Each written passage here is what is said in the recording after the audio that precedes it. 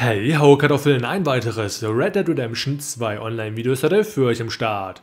Wie gestern schon im Newswire-Video angesprochen, ist diese Woche perfekt für alle Kopfgeldjäger geeignet oder für solche, die es noch werden wollen. Nicht nur, weil es massig viele Rabatte gibt, auf die Ausrüstung, Klamotten und Emotes, sondern eben auch noch, weil es mehr Belohnung gibt für die Kopfgeldjagden an sich. Vor allem für die legendären. Da gibt es zum einen die neuen renommierten legendären Kopfgeldjagden, die man nur annehmen kann, wenn man sich schon die Rollenerweiterung gekauft hat.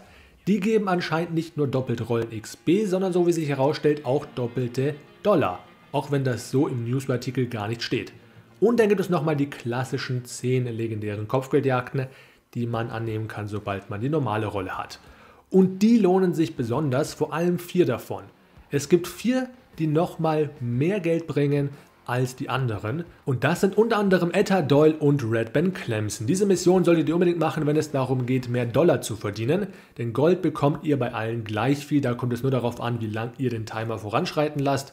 Und auch Geld bekommt ihr natürlich mehr, wenn ihr länger in der Mission drin bleibt. Aber es gibt eben bei diesen zwei noch einen größeren Basis-Payout. Es gibt sogar insgesamt vier von diesen Missionen, aber diese zwei lohnen sich am meisten. Red Band Clemson ist sogar noch ein bisschen geeigneter dafür, wenn es darum geht, Geld zu verdienen, denn dort bekommt ihr noch mehr, da es mehr Ziele sind. Desto mehr Ziele ihr habt bei einer Kopfgeldjagd, desto größer sind dann auch die Geld- und XP-Belohnungen. Gold bleibt wie immer komplett gleich, egal welche Mission ihr macht, also auch wenn es irgendwelche PvP-Showdown-Modi sind oder wenn es fremde Personen-Missionen sind oder Story-Missionen, Gold Payout ist immer nur auf die Zeit fokussiert. Und da ist es so, dass ihr alle 3 Minuten 0,08 Gold bekommt. Das heißt, ihr bekommt bei 9 Minuten 0,24 Gold, bei 15 Minuten 0,36 Gold und ab 15 Minuten gibt es nur noch alle 5 Minuten 0,04 Gold. Das heißt, es lohnt sich im Vergleich zu davor fast nur noch Viertel so gut. Und trotzdem warten viele Leute, mich eingeschlossen, 30 Minuten bevor sie die legendäre Kopfgeldjagd abschließen, obwohl sie dann nur noch 0,48 Gold bekommen, also gerade mal das Doppelte von 9 Minuten, trotz dreifacher Wartezeit. Es lohnt sich natürlich auch, weil man mehr Geld und XP bekommt, aber vor allem deswegen, weil es einen 48-minütigen Echtzeit-Timer gibt, bevor ihr die nächste legendäre Kopfgeldjagd angehen könnt. Viele wollten deswegen einfach nur das Maximum rausholen, dann 50 Minuten warten und dann direkt die nächste starten. Relativ zur Zeit lohnt es sich aber auf jeden Fall, immer nur nach 9 Minuten schon die Kopfgeldjagd abzugeben, dann irgendwas anderes zu machen für 50 Minuten und dann direkt die nächste zu starten. Aber absolut gesehen, wenn ihr einfach AFK sein wollt, irgendwas anderes in der Zeit macht, dann lohnen sich die 30 Minuten auf jeden Fall. Und hier gibt es vor allem eine Mission, die an Leichtigkeit nicht zu überbieten ist. Und das ist hier Etta Doyle. Aber bevor wir hier weitermachen, muss ich unbedingt einen Shoutout an Only PvP Cat loswerden, der das Ganze nämlich kürzlich in einem seiner YouTube-Videos aufbereitet und diese Geldmachmethode präsentiert. Sein Originalvideo ist dazu unten in der Videobeschreibung verlinkt. Lasst gerne mal ein Like und ein Abo da. Das ist nämlich international gesehen einer der besten, wenn nicht sogar der beste Reddit Online YouTuber überhaupt. So, machen wir weiter mit der Mission. Die ist wirklich für jeden geeignet, der mit dem Kopfgeldjäger gerade anfängt oder schon ein Veteran ist, denn die ist kinderleicht und ihr könnt hier fast AFK spielend einfach Geld verdienen. Was ihr dazu machen müsst, ist euch einfach nur vor Etadol zu verstecken. Und in diesem verlassenen Güterbahnhof habt ihr wirklich auch eine Menge Möglichkeiten dazu. Was ich immer ganz gerne gemacht habe, war da hoch aufs Geländer zu gehen, weil ihr dort einen guten Überblick über die Situation habt. Aber ab Stufe 5 werden euch die ganzen Patrouillen nicht mehr markiert. Und früher oder später kommt hier auf jeden Fall eine Wache vorbei, wenn die euch sieht oder wenn euch die anderen dabei sehen, wie ihr die ausschaltet, dann war es das halt mit der Heimlichkeit. Und heimlich wollt ihr auf jeden Fall sein, denn Netter Doyle ist eigentlich alleine ein Kopfgeldziel, aber am Anfang werden euch vier markiert. Und desto länger ihr wartet und euch versteckt haltet, desto mehr geben sich als Gefolgsleute preis und irgendwann wird Netter Doyle alleine zurückbleiben als Totenkopf. Das ist eure Chance, schon mal rauszugehen und sie gefangen zu nehmen. Aber auch das geht sogar noch einfacher. Wenn ihr nämlich auf ein Stichkommando wartet, dass Etadol sagt, los Leute, wir verschwinden hier, das ist offensichtlich nur eine Falle, dann werden alle abhauen und Etadol eben auch. Aber wenn ihr Etadol in dieser Zeit gefangen nehmt, dann werden euch die anderen NPCs einfach ignorieren und weiter stur geradeaus laufen.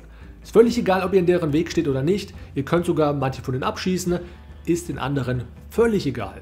Also, wenn ihr wirklich die einfachste Option haben wollt, um diese Mission zu bewältigen, dann versteckt euch in diesem Tunnel, wartet auf das Kommando von Etta Doyle, springt dann raus, fesselt sie und dann habt ihr die Mission eigentlich schon geschafft. Dann müsst ihr nur noch mit Etta Doyle zusammen zur Polizeiwache gehen und könnt euch eben entscheiden, wie lange ihr dabei warten wollt. Am besten setzt ihr euch einen Timer, sobald die Mission losgeht, überspringt die Cutscene und dann wartet ihr entweder 9 Minuten bzw. 10 Minuten zur Abgabe, dass ihr relativ zur Zeit das meiste rausbekommt oder ihr wartet einfach die vollen 30 Minuten und bekommt dann satte 225 Dollar, jetzt mit den 50% mehr sogar 337 Dollar.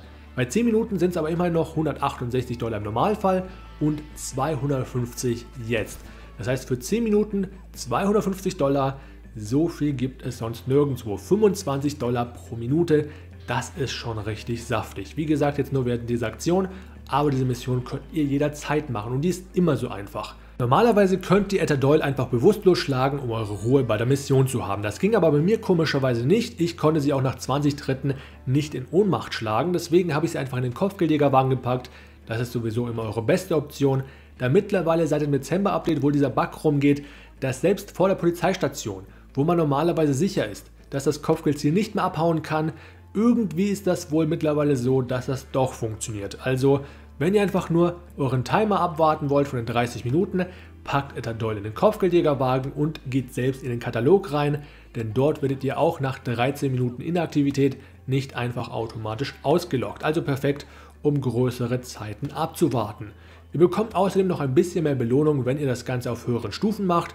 Ihr bekommt die normale Belohnung auf 1 Stern, 1,12-fache Belohnung auf 2 Sternen, 25% mehr auf 3 Sternen, 37% mehr auf 4 Sternen und die 1,5-fache Belohnung gibt es dann letztendlich bei der höchsten Schwierigkeitsstufe. Außerdem bekommt ihr im Trupp ebenfalls noch mehr Belohnung, 10% mehr, wenn ihr das mit einem weiteren Truppmitglied macht, also jeder von euch, 15% mehr mit zwei Truppmitgliedern, also drei insgesamt dann im Trupp und bei vier Truppmitgliedern insgesamt gibt es 20% mehr für jeden. Das betrifft aber natürlich nur die Dollar-Auszahlung, nicht das Gold.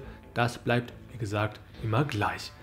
Lohnt sich also auf jeden Fall, das Ganze mal anzugehen, Etta Doyle. Ihr braucht halt wirklich gar nichts aus einem Lasso, was jeder von euch hat, um diese Mission perfekt abzuschließen. Keine besonderen Fähigkeitskarten, keine Waffen, kein gar nichts, höchstens noch einen Kopfgeldjägerwagen.